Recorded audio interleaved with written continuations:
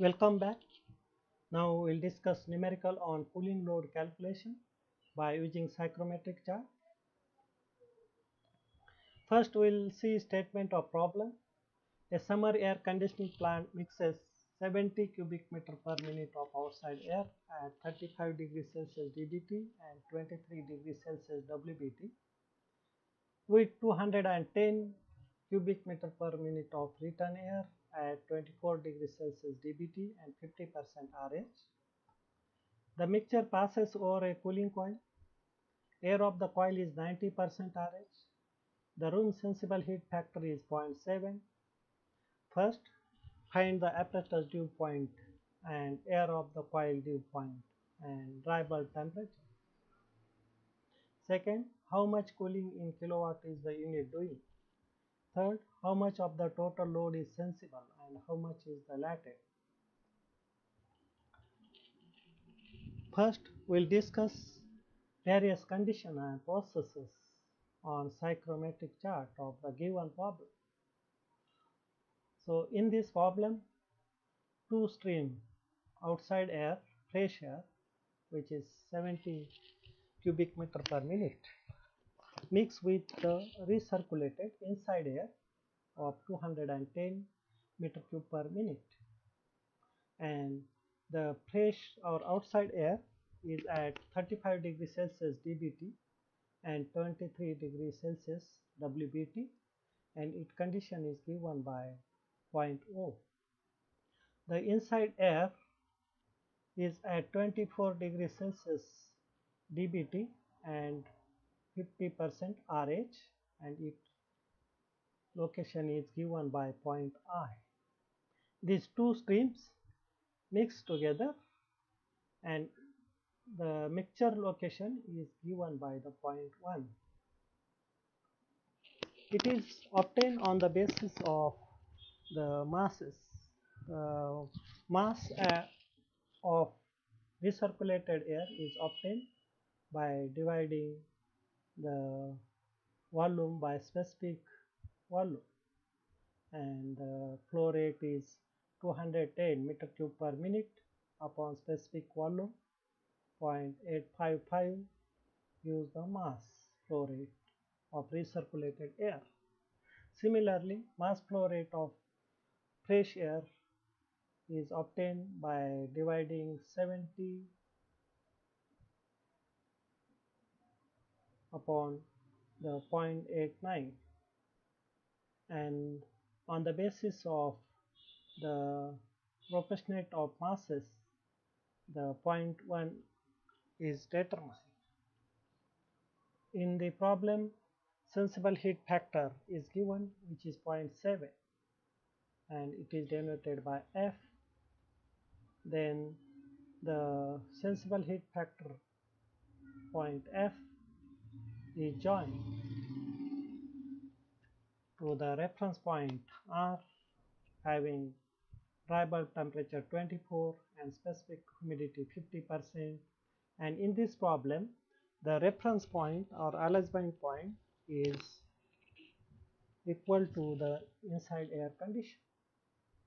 Now from the inside air condition I will extend the line up to saturation curve and that line IS is parallel to FI but in this case the reference point and inside air condition I are same. So the line is just extension of Fi and that is RS and at S this line cut the saturation curve of psychrometric chart. Now in this problem the cool air leave the coil at 90% humidity.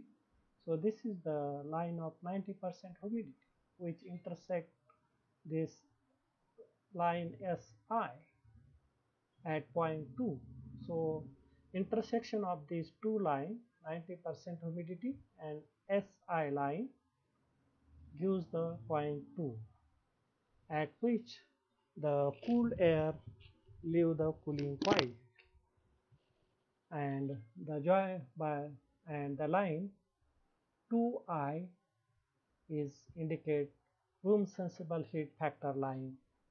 And the line 2 1 indicate the grand sensible heat factor line.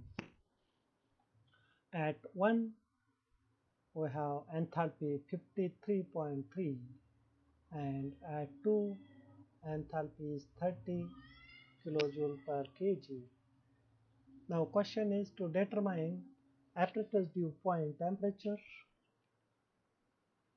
and it is given by extending the line 1 2 up to saturation curve and that extension line cut the saturation curve at S dash and the temperature at S dash is 8 degrees. So apparatus dew point temperature is 8 degrees Celsius.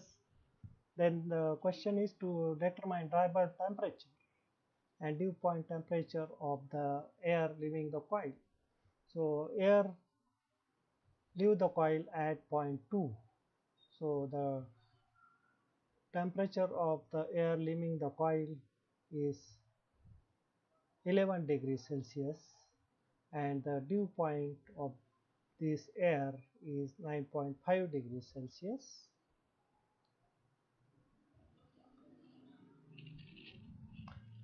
Mass of outside air or fresh air supplied is MO which is total volume of air supplied upon 60 into specific volume which is equal to 70 upon 60 into 0.89 which is equal to 1.31 kg per second is the fresh air supply.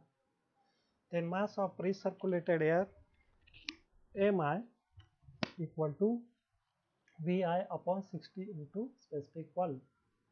Vi is 210 upon 60 into specific volume 0.855 which is equal to 4.094 kg per second.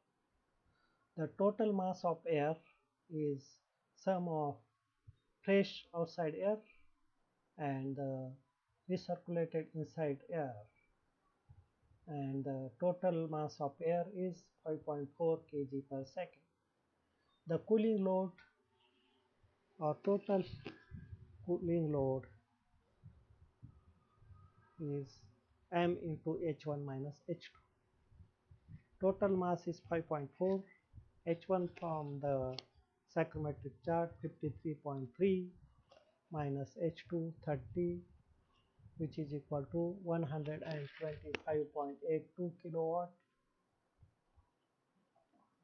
Sensible heat factor SHF is defined as ratio of sensible heat load to total heat load so sensible heat load is equal to sensible heat factor into total heat load which is equal to 0.7 into 125.82 which is equal to 88.07 kilowatt which is SHL. Now total heat load is addition of sensible heat load and latent heat load.